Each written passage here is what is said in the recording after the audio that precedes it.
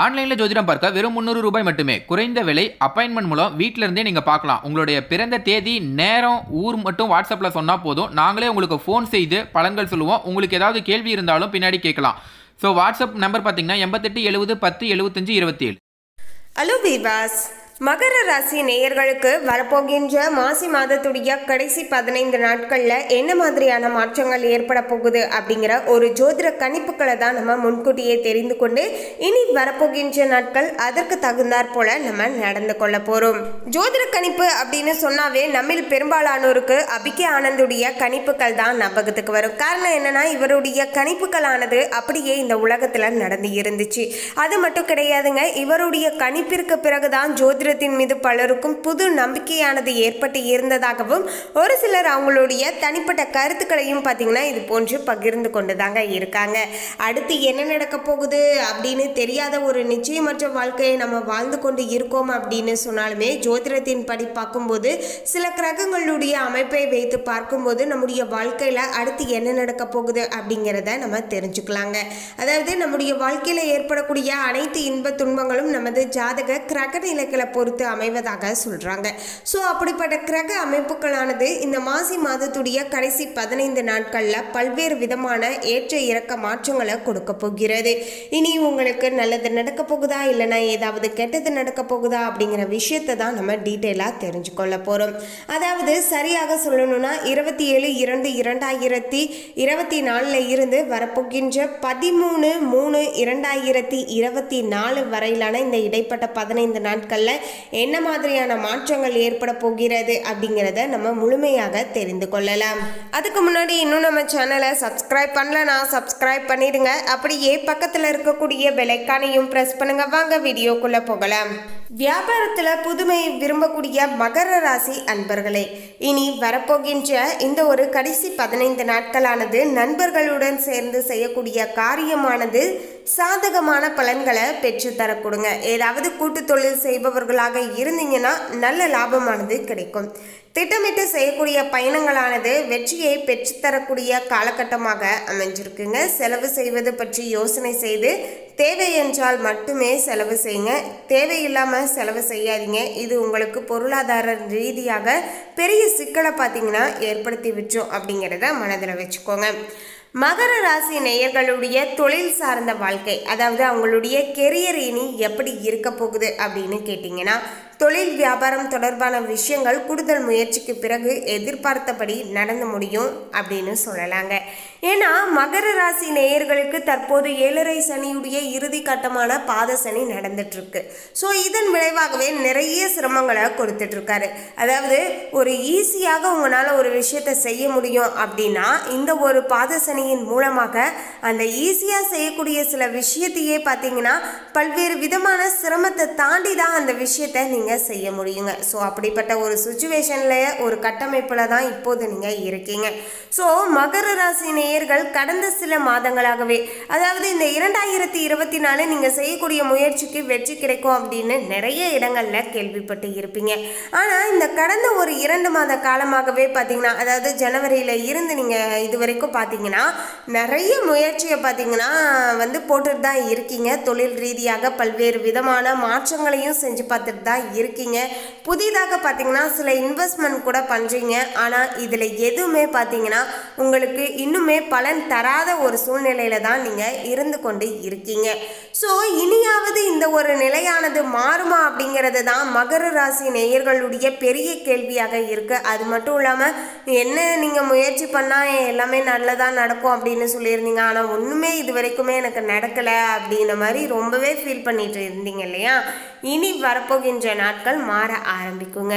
உங்களுக்கு பாதசனி இருப்பதால் எதுவுமே ஈஸியாக கிடைச்சிடாது கொஞ்சம் பார்த்தீங்கன்னா சிரமத்தை அனுபவிச்சதுக்கு அப்புறமேட்டு தான் கிடைக்குங்க.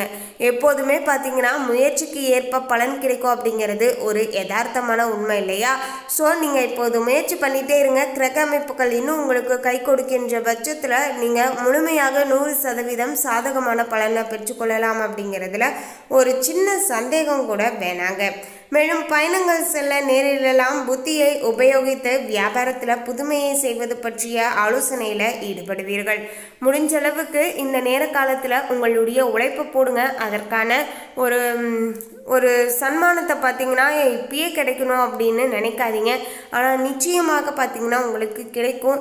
சோர்ந்து போயிடாமல் தொடர்ந்து பார்த்தீங்கன்னா உழைச்சிட்டே இருங்க. நிச்சயமாக உங்களுடைய உழைப்புக்கு ஏற்ப வெற்றியானது கிடைக்குங்க. உத்தியோகத்தில் இருப்பவர்களுக்கு பிடித்தமான இடத்திற்கு வேலை மாற்றமானது கிடைக்கலாம்.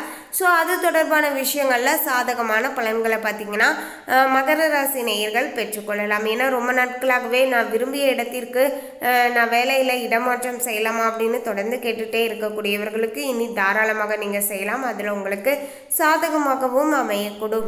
தனுசு ராசி குடும்ப வாழ்க்கையை வைத்து பார்க்கும்போது குடும்பத்தில் வாக்குவாதங்களானது உண்டாகலாம். வாழ்க்கை துணையும் குழந்தைகளிடமும் கொஞ்சம் அனுசரித்து செல்வது நல்லதாக இருக்கக்கூடுங்க. குடும்பத்திற்காக கூடுதலாக உழைக்க வேண்டியதாக இருக்கக்கூடும். கடந்த சில நாட்களாகவே மகர ராசி நேயர்களுடைய குடும்ப வாழ்க்கையில சண்டை சச்சரவுகள் இருந்து கொண்டு தான் இருக்கு. நீங்கள் ஏதாவது ஒன்று சொல்ல உங்களுடைய பார்ட்னர் அதை வேறு விதமாக புரிந்து கொண்டு இருவருக்கும் இடையே மனஸ்தாபங்களும் பிரச்சனைகளும் இருந்து கொண்டு தாங்க இருந்தது. இந்த ஒரு நிலையானது இனியும் கொஞ்சம் தொடரலாம் என்பதால சற்று கவனமாக இருந்துக்கோங்க. அதே போலதான் பெண்களுக்கு எடுத்த காரியத்தை செய்து முடிக்க காலதாமதம் ஏற்படும் திட்டமிட்டு செயல்படுவது உங்களுடைய முன்னேற்றத்திற்கு ரொம்பவே பார்த்தீங்கன்னா உதவியாக இருக்கும் அப்படிங்கிற விஷயத்த ஒருபோதும் மறந்துடாதீங்க. படிக்கக்கூடிய மாணவர்களுக்கு எதிர்காலம் பற்றிய திட்டங்களானது மனதில் அவ்வப்போது தோன்றிக் கொண்டே இருக்குங்க. கல்வியில் எந்த அளவுக்கு நீங்கள் கவனத்தோடு செயல்படுறீங்களோ அந்த அளவிற்கு உங்களுக்கான ஒரு நல்ல வெற்றியை நீங்கள் பெற்றுக்கொள்ளலாம் அப்படிங்கிறது ஒரு யதார்த்தமான உண்மைங்க. நீங்கள் எந்த அளவுக்கு கேர் பண்ணி படிக்கிறீங்களோ அந்த அளவுக்கு தான் உங்களுக்கு மார்க்கானது கிடைக்கும். கலைஞர்களுக்கு தங்கு தடையின்றி புதிய வாய்ப்புகளை பெற்றுக்கொள்ளலாங்க புகழ் பாராட்டு வந்து சேரும். நற்பெயர் எடுப்பதற்கு உண்டான சூழ்நிலைகளானது உருவாகும். எதிர்பார்த்த உதவிகளானது மற்றவர்களிடம் இருந்து உங்களுக்கு சாதகமாக கிடைக்கும். அரசியலில் இருக்கக்கூடிய தனுசு ராசி அன்பர்களாக இருந்தீங்கன்னா நல்ல பலன்கள் கிடைத்தாலுமே அதே நேரத்தில் சாரிங்க மகர ராசி அதே நேரத்தில் விழிப்புடன் செயல்படுவது நன்மையை ஏற்படுத்தும். ஸோ மகர ராசி நேயர்கள் அரசியலில் இருந்தீங்கன்னா கொஞ்சம் ஜாக்கிரதையாக இருந்துக்கோங்க. இழுப்பறியாக இருந்த சில காரியங்கள் நன்றாக நடந்து முடியும். கையிருப்பானது அதிகரிக்கும். அடுத்து மகர ராசி உத்திராடம் இரண்டு மூன்று மற்றும் நான்காம் பாதத்தில் இருக்கக்கூடியவர்களாக இருந்தீங்கன்னா இந்த மாசி மாதத்துடைய கடைசி பதினைந்து நாட்களானது நிம்மதியும் சுகமும் அதிகமாகும். புண்ணிய ஸ்தலங்களுக்கு யாத்திரை செல்ல வேண்டியதாய் வரலாம். பணவரவு திருப்திகரமாக இருக்குங்க. பல வகையிலையும் பிறர் உதவி கிடைக்க பெறுவீர்கள். புத்தி சாதுரியம் அதிகரிக்கும். யாருக்குமே வாக்குறுதிகள் கொடுப்பதை கொ- தவிர்த்துப்பது கொஞ்சம் நல்லதாக இருக்குங்க. எதையுமே செஞ்சுடுங்க. செய்கிறதுக்கு முன்னாடியே நான் இது செய்வேன் அது செய்வேன்னு நீங்கள் வந்து எதுவும் பில்டப் கொடுக்க வேணாம். அதன் மூலமாக உங்களுக்கு சங்கடங்கள் ஏற்படலாம். ஸோ முடிஞ்ச அளவுக்கு இந்த விஷயத்தில் மட்டும் கொஞ்சம் ஜாக்கிரதையாக இருந்துக்கோங்க. அடுத்து மகர ராசி திருவோணம் நட்சத்திரக்காரர்களுக்கு இந்த மாதத்துடைய கடைசி பதினைந்து நாட்களில் தொழில் வியாபாரம் நிதானமாக நடக்குங்க. உறவினர்களுடன் கொஞ்சம் அனுசரித்து செல்வது நல்லதாக இருக்கக்கூடும். எல்லா விதமான காரியங்களும் சாதகமான பலன்களை பெற்றுத்தரக்கூடும் பண வரவும் ஓரளவுக்கு திருப்திகரமாக இருக்கும். பக்தியில் நாட்டம் ஏற்படும் பண வரவானது அதிகரிக்குங்க. மற்றபடிக்கு எந்தவித பிரச்சனைகளும் ஏற்பட போவது கிடையாது. அடுத்து மகர ராசி அவிட்டம் ஒன்று மற்றும் இரண்டாம் பாதத்தில் இருக்கக்கூடியவர்களுக்கு இந்த மாதம் எதிர்ப்புகள் விலக ஆரம்பிக்கும். நீண்ட நாட்களாக இருந்து வந்த பிரச்சனைகள் தீரும்.